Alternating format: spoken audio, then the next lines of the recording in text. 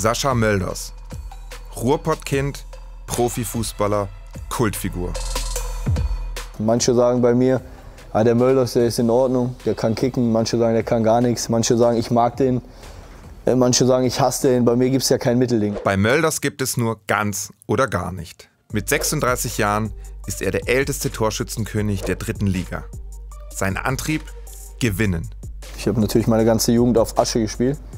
Und ich habe immer, egal, und wenn wir irgendwelche Turniere gespielt haben oder es gab früher bei uns, mit meinen Kumpels haben wir immer solche Jux-Turniere gespielt, äh, wo die Leute dann alle äh, gefeiert haben, getrunken haben. Ich wollte immer gewinnen. Immer, egal was war, ich wollte immer gewinnen. Und das ist heute auch immer noch so. Ich will jedes Trainingsspiel gewinnen. Ich will jeden Wettbewerb gewinnen. Wenn ich nach dem Training mal ausschieße, irgendwas, das habe ich jetzt zwar hier noch nicht gemacht, aber in der Vergangenheit, dann will ich gewinnen. Egal was ich mache, ich will immer gewinnen. Wenn ich zu Hause mit meinen Kindern, wenn ich ärgere dich nicht spiele, dann will ich gewinnen. Ich lasse die nicht gewinnen. Ich will alles gewinnen. Nach über fünf Jahren überwirft er sich mit 60 Trainer Kölner. Sein Vertrag wird aufgelöst. Viele Vereine wollen Mölders haben. Doch der landet am Ende überraschend in der Regionalliga in Groß Asbach. Ich habe jetzt schon mehrfach betont, dass ich immer nur Sachen mache, wo ich Lust drauf habe. Und äh, da geht es auch nicht immer nur ums Geld, sondern es geht um die Sache. Und ich habe hier richtig Lust drauf gehabt, wie bei meinen ganzen Stationen vorher auch. Ähm, und ja, ich habe mich immer auf mein Bauchgefühl und meine Familie verlassen. Das habe ich jetzt wieder gemacht. Und bis jetzt äh, läuft alles einmal frei. Aber wir werden Ende Mai sehen, wie gut es dann gelaufen ist. Dabei war das Karriereende schon geplant.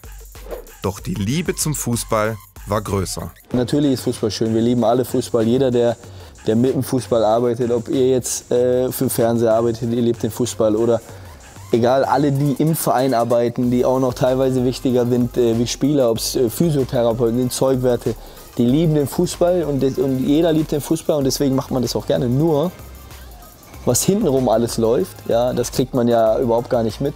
Und das ist teilweise alles andere als schön. Dann gehst du irgendwann lieber in eine Bezirksliga, in eine Landesliga, spielst du dort einfach Fußball. Nur Fußball und du hast dann Spaß. Und das Ganze drumherum und, und dieses, wo der eine über den anderen redet und, und das und das, da habe ich, hab ich, hab ich keine Lust mehr drauf. Und dann habe mich aber wieder bequatschen lassen und habe dann trotzdem weitergespielt. Für einen wie Mölders, der auch die Nähe zu den Fans sucht, waren die letzten zwei Jahre besonders schwer. Die letzten zwei, zwei Jahre fast, ja, die waren für jeden, glaube ich, echt Mist. Ne? Und Fußball ohne Fans, das, das, das, war auch irgendwie dann doch kein richtiger Fußball, ne? weil die Fans, die fehlen einfach. Gerade wenn du Heimspiele hattest. Und ich habe ja jetzt bei 60 München gespielt. Und die Fans, die sind ja positiv verrückt. Ja, die, haben, die peitschen da einen nach vorne, das ist ja Wahnsinn. Ne? Das ist, da kannst du auch mal 3-0 hinten liegen und die Fans stehen auf und schreien. Da kannst du da auch noch Spiele umdrehen. Sein Signature Move ist der Seitfallzieher. Spätestens mit diesem Versuch wurde Mölders Kult. Zunächst einmal muss ich sagen, das ist natürlich eine Fotomontage gewesen. So ein Bauch, wie da abgebildet wurde, habe ich natürlich nicht. Nur musst du, ich sage immer, im Leben musst du jeden Spaß mitmachen. Und dafür bin ich ja äh, immer zu haben und habe dann natürlich äh, aus dieser Steilvorlage, sage ich jetzt mal, habe ich natürlich was Eigenes kreiert und entwickelt und lief natürlich hervorragend. Die Wampe von Giesing ist von nun an in aller Munde. Es gibt sogar Fanartikel. Du musst dich auch ein bisschen anpassen immer. Wie ich, das ist eigentlich mit meinem Shop nichts anderes, wie wenn ich jetzt irgendwo hingehe und, und Fußball spiele. Ich glaube, wir leben ja im Dorf, ich lebe in Mehring auf dem Dorf. Das passt dann halt ganz gut. Und, und alle T-Shirts, die man oder die Klamotten, die man in meinem Shop kaufen kann, die spiegeln auch ein bisschen so das wider, was ich eigentlich bin. Und das ist halt immer, immer das Wichtigste. Und deshalb gibt es passend zum Dorfclub jetzt auch eine Dorfkicker-Kollektion. Mölders in Groß Asbach, das passt einfach.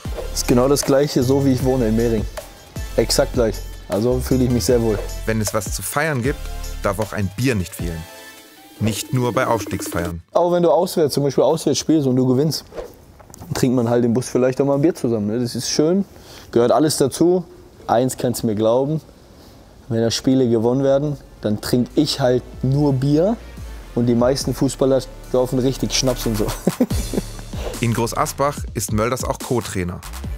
Außerdem ist er mittlerweile TV-Experte und wird dem Fußball wohl noch lange erhalten bleiben. ich glaube, wenn du, wenn du so richtig in den Fußball drin bist, dann kannst du eh nie ganz aufhören. Ich glaube, das wird nicht funktionieren.